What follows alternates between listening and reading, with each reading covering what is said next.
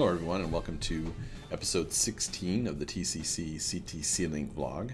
Just have a couple things I want to chat about today. Uh, first up, I want to say congratulations to Carrie Toogood for being the episode 15 winner. She's been hosting uh, Link Down and Advising for the past couple of weeks.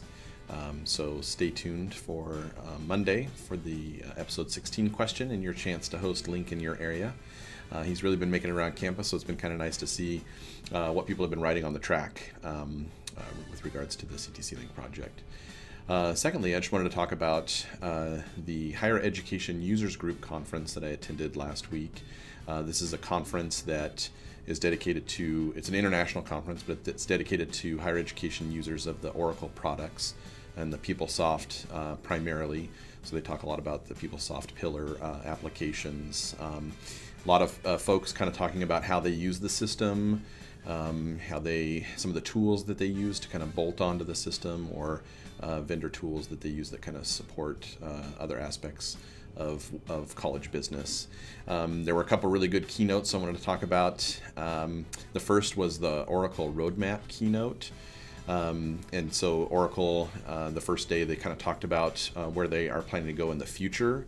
Uh, so some of the screenshots I'm going to show you or uh, uh, images I'm going to show you, and I apologize for the quality because I took them with my cell phone, but um, these are kind of uh, roadmap um, aspects of, of the new applications coming out. And so we may not see them for quite some time, but it's just kind of interesting to show kind of the direction they're going. And they're really kind of focusing on cloud applications, so hosting a lot of these various pillar applications in the cloud. So the, the first screen is, is really kind of their mobile home screen uh, for this new uh, Campus Solutions uh, cloud application. Uh, and you can see you can access uh, various aspects of the PeopleSoft environment uh, from the, home page. but then you can drill down and actually make do search for courses. you can actually register for courses. Um, you can see to-do items, so tasks that you uh, that a student may need to complete um, for enrollment purposes or, or, other aspects in the Campus Solutions environment. They have access to those. Um, and also they have access to um, their account information. So if they need to make payments like tuition payments, um, or they uh, need to pay a parking fee or, or, any of that kind of information that's available that would be available to them and they would be able to, to pay right from that mobile device if they wanted to uh, so again, keep in mind that these are um, these are future. This is the roadmap piece, so it's uh, future uh, aspects of the system uh, that that we won't see in our go live, but uh, in the future we may have access to some of those resources in this environment. Um, and then secondly, I want to talk about the keynote for day two. Uh, uh, a gentleman named Shawn Achor, uh, who does he uh, is a researcher in positive psychology, and he had a really interesting keynote. Uh, he has a TED talk too about a very similar topic, and I'll, I'll share that link uh, in the video blog um, uh, posting. But uh, he talked about the happiness advantage, and and basically, and he, there's, he has a book by the same name, uh, and he was talking about how um, being successful doesn't always make a person happy but a person that is truly happy uh, can be very successful, and that does lead to success. So it was really interesting and entertaining uh, um, keynote presentation, and the TED Talk. If you watch that, you'll see uh, most of what we saw in the presentation.